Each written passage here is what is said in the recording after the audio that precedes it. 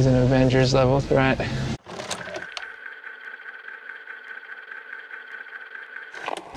Spider-Man Far From Home is a long-awaited breath of fresh air, because after what seems like an endless slew of these massive superhero movies with massive everything, we finally get a film that keeps itself much smaller and intimate. Unfortunately, while keeping things small is what made Far From Home so great, it's also what ultimately became its downfall. If you didn't hear, what happened was that this movie flopped at the box office hard and ended up losing Sony a lot of money. Oh wait, that's not actually true. It made more money than some of the most massive comic book movies you'll find. And that's because this entire film is a lie. Like I said, Far From Home at heart is a small movie. It focuses more on character than plot. It bases its conflict more on trivial internal stakes than hugely significant external stakes. Honestly, it feels less like a real summer blockbuster and more like a tiny indie road comedy, which makes sense since the director here comes from that corner of filmmaking. But the usual downside to this is that no matter how great your character project is, if it's not a big film, it will not make the big bucks. The harsh truth is, we as an audience have been conditioned to only go see these massive blockbusters with world or galaxy ending plots and threats. And that's why I have to give credit to Sony and Marvel, because what they managed to do here was take this tiny indie film and disguise it as a massive billion dollar blockbuster in such a blunt way that the whole thing is actually a very smart meta commentary on the issue we're talking about. Tony Stark is gone.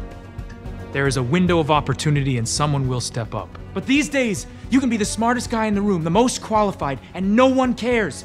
Unless you're flying around with a cape or shooting lasers from your hands, no one will even listen. Well, I've got a cape and lasers. Naturally, there's a lot of reversals and twists in Far From Home, but that's not what I mean here. What I mean is that the very key things that made this movie sell in the promotional material, in the theater experience, it's all a lie. The evil, larger-than-life villain, lie. The massive action sequences with world-threatening dangers, lie. The movie in general being played off as this big plot-driven superhero flick, lie. And what baffles me the most, considering that we live in an age where the term subverting expectations has received a negative connotation is that despite this film basically cheating the audience for two hours straight, it's one of the best MCU entries that pretty much everybody enjoyed. Which is the reason for this video. Let's look at Spider-Man Far From Home and see how exactly it takes this tiny indie project and deceives the audience into viewing it as a billion dollar blockbuster in a way that still leaves the audience smiling and satisfied.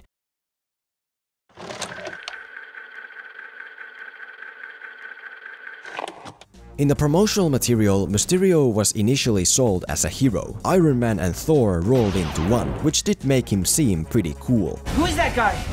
I don't know, but he's kicking that water's ass. But honestly, him not being the real villain was a bit too dumb for anyone to actually buy into. Although with Sony, you never really know for sure. The real lie, however, comes from the fact that as a villain, Mysterio is actually nothing as promised. We have this super destructive, super dangerous, larger-than-life antagonist who can fly and shoot lasers and whatever, and then at the midpoint turns out that all he is is just a dude in a mocap suit controlling a bunch of drones. Like, what kind of big blockbuster bad guy is that? All I have to do is get on the inside of the illusion, then I can take it down, find him, and he's just a guy. First of all, I'd argue that being a powerless nobody actually is what makes Mysterio aka Quentin Beck such an amazing villain. Because instead of being yet another addition to the never-ending list of larger-than-life super evil comic book bad guys, he by default has to be more of a layered personal antagonist. The crux of Beck's character is that he's a brilliant mind who feels he's been wrongly neglected and hidden away from the spotlight. And now it's his mission to finally make everyone see and appreciate him the way he deserves. And even though this mission is the furthest thing from your usual larger-than-life blockbuster villain objectives, it's more than enough, because Beck is living proof that in order for a villain to be effective, they don't need to be powerful or larger than life. All they need is to be obsessively motivated, which is a pretty fitting term to use here. Hey, kill it. Just kill the illusion. Kill No, it. I'm not gonna kill it. They'll see. They'll see what I want them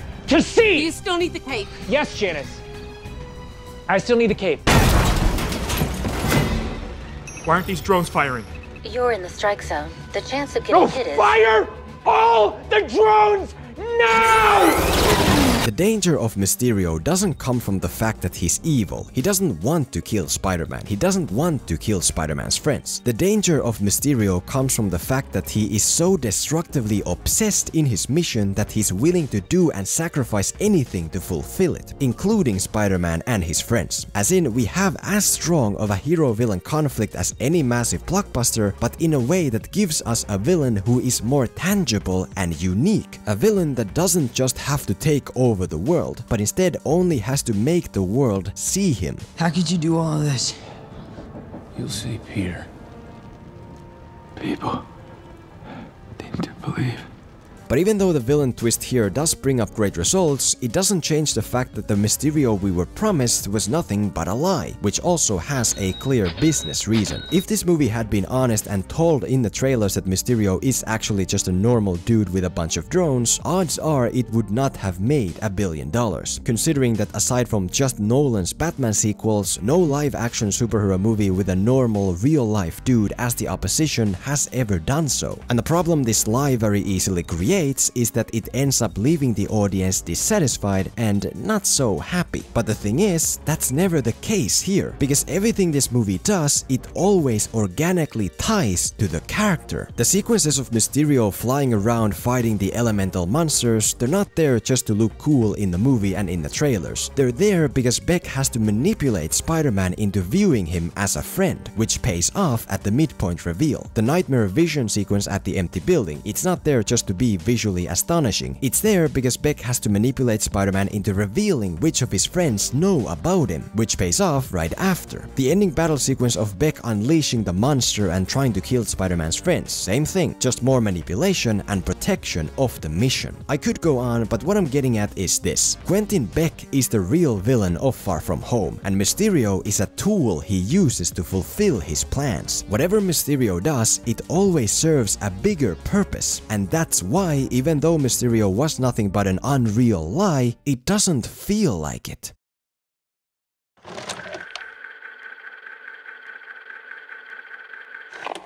As was evident back in the trailers, Far From Home has a bunch of gigantic and very high-stakes action sequences where Spider-Man has to fight these elemental monsters. We have the water monster battle, which is about saving the city of Venice. We have the fire monster battle, which is about saving the entire planet. We have the London monster battle, which is also very much about something larger than life, because, well, I mean, look at it. And while massive CGI sequences like these aren't necessarily what interests everyone, the truth is that with the more common audiences, this grand world-ending stuff is how you sell a movie today, especially internationally. Make sure every drone is weapons hot. We need maximum damage. it's going to cause a lot of casualties. Oh yeah, more casualties, more coverage. I gotta cut through the static. I mean, if I'm gonna be the next Iron Man, I need to save the world from an Avengers level threat. But as we've already discussed, none of this is real. The monsters aren't real, the stakes aren't real, the battles aren't real. It's all just another lie by the filmmakers. Spider-Man doesn't actually have to defeat the monsters. There's nothing significantly horrible that happens if he doesn't, other than maybe a few buildings being destroyed. And so, when the reveal comes and when the movie ends, what by logic should happen is that the audience will look back and view this as a movie without stakes and be like, eh, that was kinda pointless. But the reason that's not the case here is because none of it actually is pointless. I mean, I'm not someone who usually is the biggest fan of massive fight scenes with shallow CGI monstrosities, but even I thought the battle sequences here were great. Why?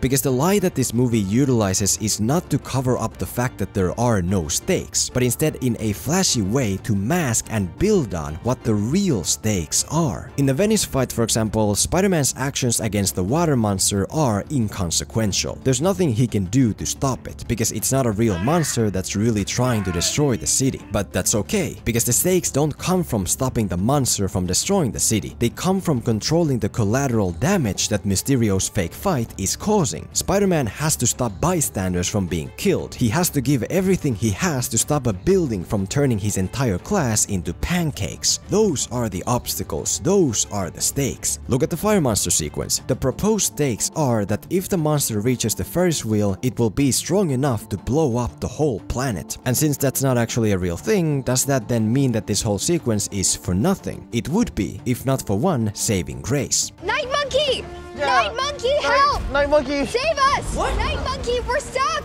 Oh no no. Help us!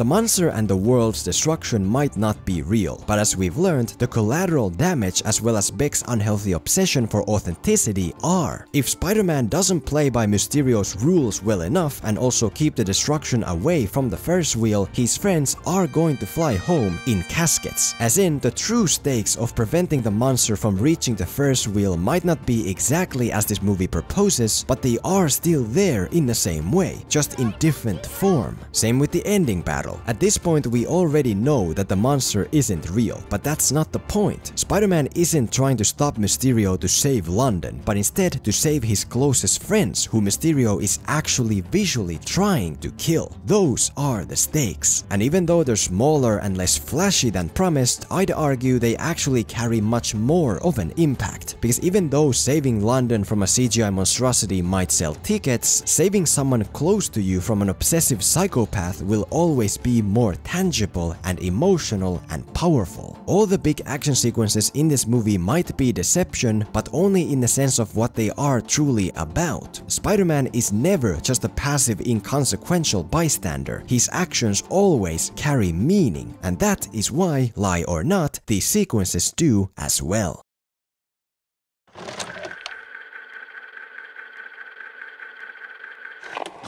So far, we've talked about more specific aspects of deception in this movie, but for the final point, I want to talk about it in the sense of the movie as a whole. Like I said in the beginning, Far From Home at heart is a tiny indie road trip romantic comedy about a boy going after a girl. The furthest thing from a massive ever exhilarating blockbuster you can get. There are no real external goal-heavy plots. There are no real external objectively significant obstacles. There's just 16-year-old Peter Parker wanting to have a fun time on his school trip and get a chance to spend time with MJ. That's it. But since movies where characters just wanna do stuff and have a good time aren't usually big box office giants, the filmmakers had to find a way to disguise it as this hugely important superhero thrill ride. And weirdly enough, that might be the very thing that makes it such a great film. What do you want, Peter?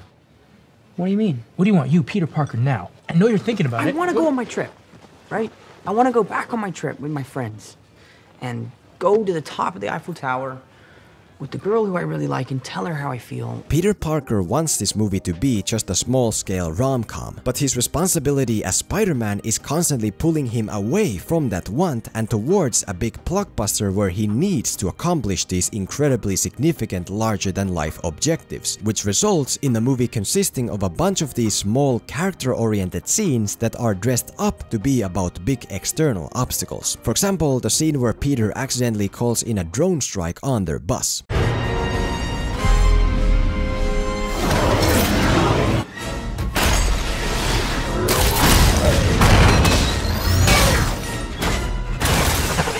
On the outside, this scene is about Spider-Man saving his friends from being blown to bits, which is pretty cool and exhilarating. But at the core, it's actually just about 16-year-old Peter Parker trying to stop another kid from showing a discriminating photo of him to MJ that would ruin his chances with her. As in, we have the heart and the personal impact of a smaller character movie coupled with the thrilling and excitement-heavy shell of a big action blockbuster. But this combination isn't there just to make the film and its scenes look big bigger. It's also there to make them feel bigger. Want to go in on a pair? You mean let's sit next to each other? Yeah. I'll save you a seat next to me because there's Awesome. a lot of seats, so I'll be up there. Okay.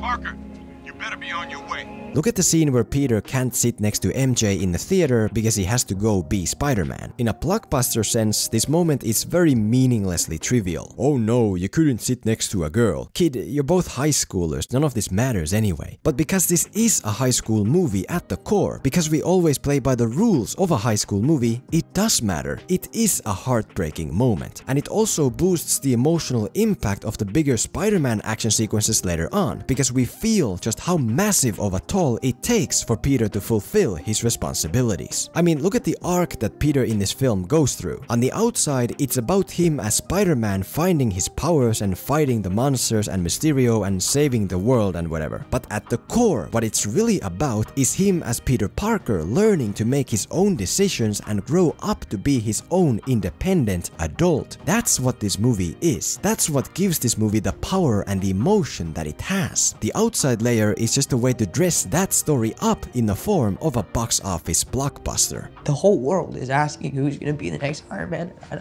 I don't know if that's me happy. I'm not Iron Man. You're not Iron Man. You're never gonna be Iron Man. The one thing that he did that he didn't second guess was picking you. I don't think Tony would have done what he did if he didn't know that you were gonna be here after he was gone. And actually, the more that I think about how Far From Home does all this, it's not even really deception, it's not really lying. What it is, is something that every big Hollywood film should aspire to feature in the same way. Heart of a small emotional character piece, shell of a thrilling blockbuster. A thing called good storytelling.